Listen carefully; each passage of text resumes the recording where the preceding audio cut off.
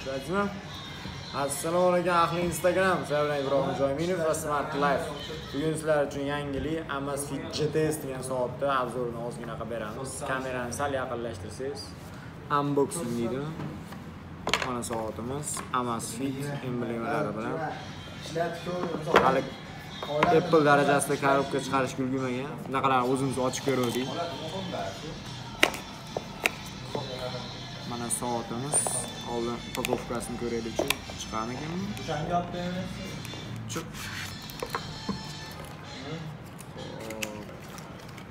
Komplektida mana zaryadnigi bor ekan.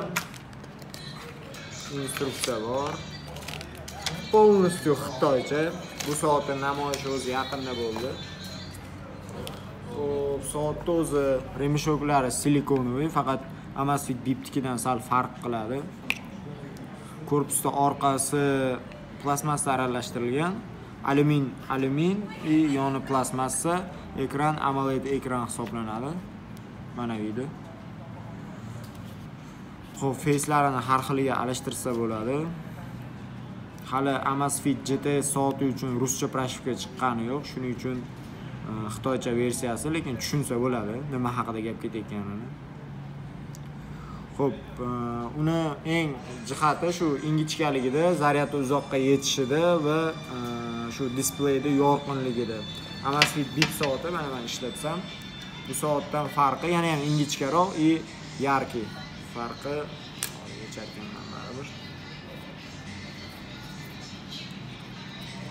Amazfit Bip bilan farqi. Amazfit Bip yongan holatida ham u qadar yorug' bo'lmaydi. Farqi juda ham sezilarli. Kimga qiziq bo'lsa, agar savollar tug'ilgan bo'lsa, bemalol direktga yozishlaring mumkin. Ruscha proshivkasi ham tez orada chiqadi degan umiddamiz. Agar video yoqqan bo'lsa, like, yoqmagan bo'lsa, komment. Xullas, bizni kuzatib boringlar.